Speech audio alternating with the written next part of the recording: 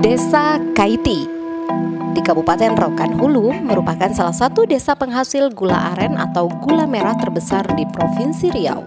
Di desa ini hampir semua masyarakatnya menekuni industri gula aren untuk menopang ekonomi keluarga dan bagaimana proses produksi industri rumahan gula aren ini. Mari pemirsa, kita coba menelusuri bagaimana proses pengolahan dari gula aren.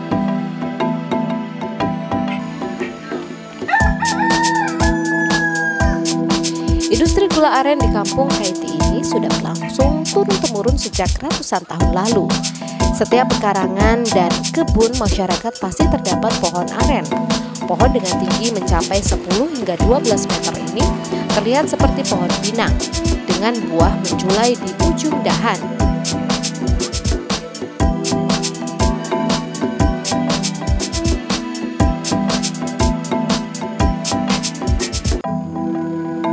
Dari tandan buah aren inilah diperas air aren atau disebut juga dengan air nira. Air aren segar ini bahkan bisa dikonsumsi langsung dengan rasa manis keasaman, namun sangat segar bagi tubuh yang diyakini mempunyai banyak khasiat.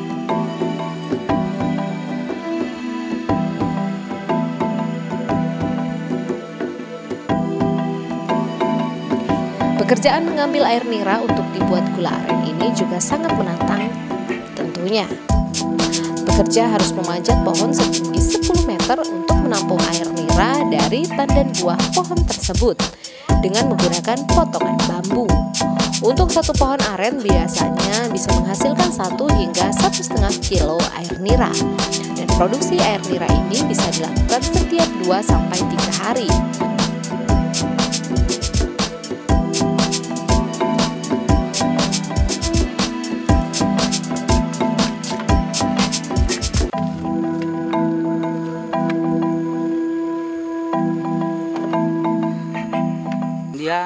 Kalau dibikin gula dia 3 liter setengah satu kilo. Rata apakannya? Ada yang 4 liter baru satu kilo. Satu kilo satu batang itu ada 4 liter?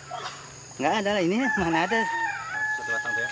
Tapi kadang ada juga. Kadang ada juga. Penuh. Apa tuh 20 liter satu pagi ada. Nggak tentu kan? Kadang ada yang nggak berair lagi Kan?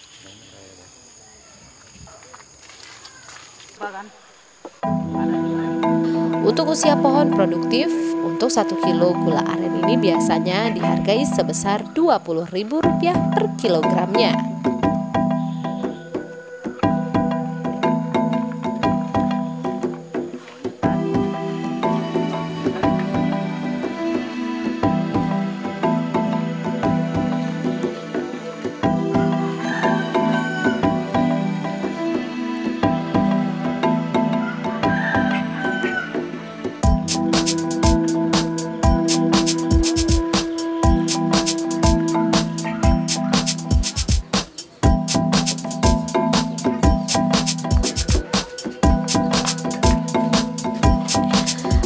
Pengolahan air nira ini pun harus membutuhkan waktu yang cukup lama.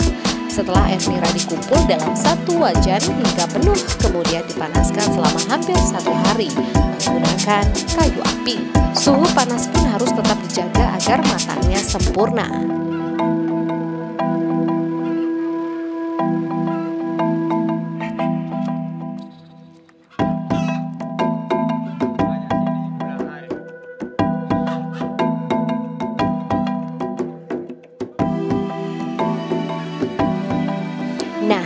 Pemirsa, setelah air nira ini mulai kental baru dikeluarkan dari wajan untuk kemudian didinginkan sehingga proses cetakannya pun bisa sempurna. Gula aren ini hanya dicetak berbentuk balok dengan ukuran berkisar setengah kilogram. Wah, pemirsa, ternyata untuk pembuatan gula aren ini butuh proses yang sangat panjang. Namun pemirsa, di desa Kaiti, Kabupaten Rokan Hulu, hal ini sudah menjadi tradisi masyarakat. Bahkan produksi gula aren ini merupakan salah satu mata pencarian masyarakat dalam menopang ekonomi keluarga.